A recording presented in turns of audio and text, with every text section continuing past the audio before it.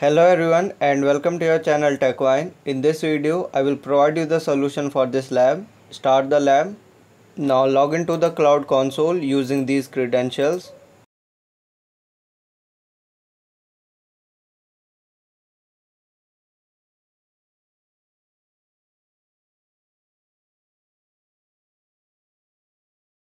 In the console, open the Cloud Shell.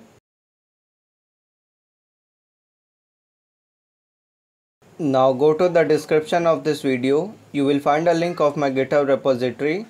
Copy this first command. Paste it. Now go back to the lab and move to the first task. In this task, you will find this region. Copy it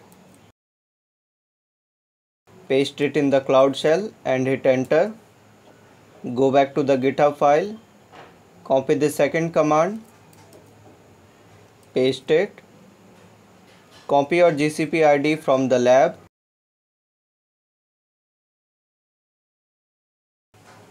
Now copy all these commands and run them in the cloud shell. Type y then hit enter. Now wait for 2 to 3 minutes till all the command is executed.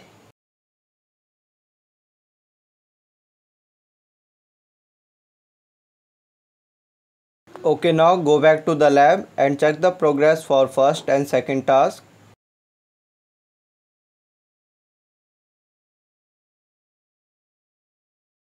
Now for the third task, copy this display name minimize the cloud shell and search for dataplex open this click close and move to the manage section. Open the sensors. Then in this section you will find this zone.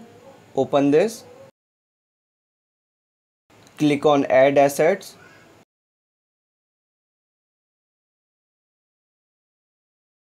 For the type, choose storage bucket. For display name, paste the name you copied from the lab. Scroll down for bucket, click on browse and you will find this type of bucket.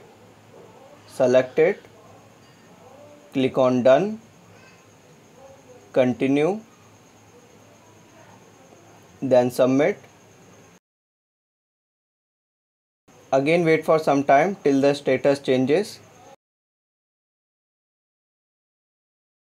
Okay now the status is active. You can go back to the lab and check the progress for the third task. Go back to the console. Then delete this asset.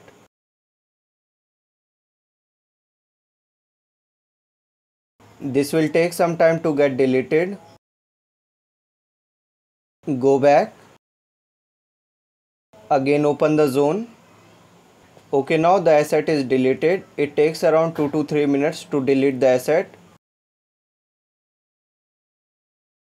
Now delete the zone.